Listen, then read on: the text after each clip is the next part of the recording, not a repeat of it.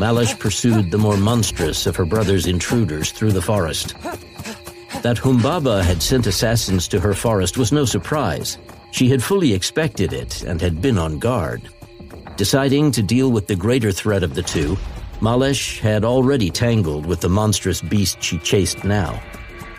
She had harried it from the trees, causing it enough frustration that it retreated for open ground, no doubt, some clearing to put space between it and her agile strikes. This creature had nearly felled her with a blow that only her quickness had lessened. The long nails on her left hand and her toes' claws were splintered by the effort to decelerate from that unholy impact.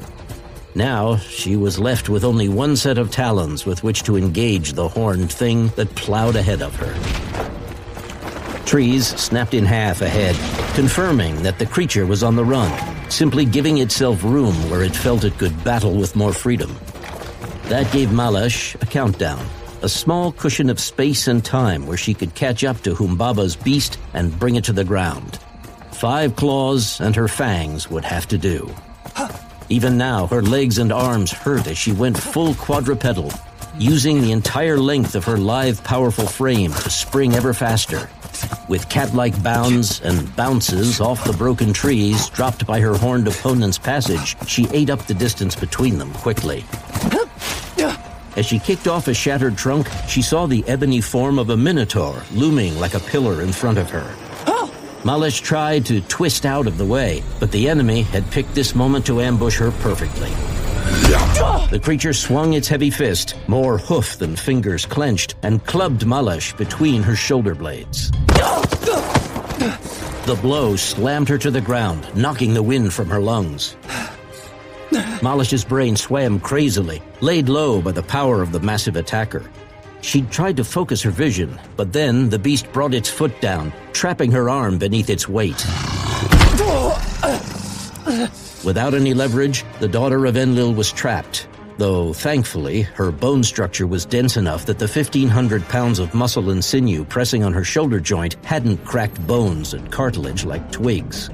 It shifted its weight, drawing up its other massive hind hoof. While the monster's weight wouldn't break a bone, she was certain that a full-powered kick would easily separate her head from her shoulders. Malish's yellow eyes flashed with furious defiance. The goddess would not face her end whimpering for mercy. As she glared at the thing about to kill her, she noticed that a heavy shaft of bronze ring-wrapped wood jutted from the creature's upper chest.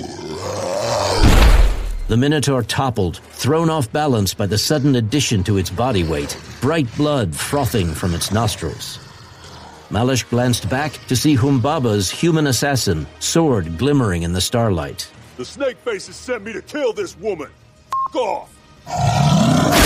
The Minotaur swatted the shaft of the spear, shattering it off so that it didn't jut too far and rose to its full height.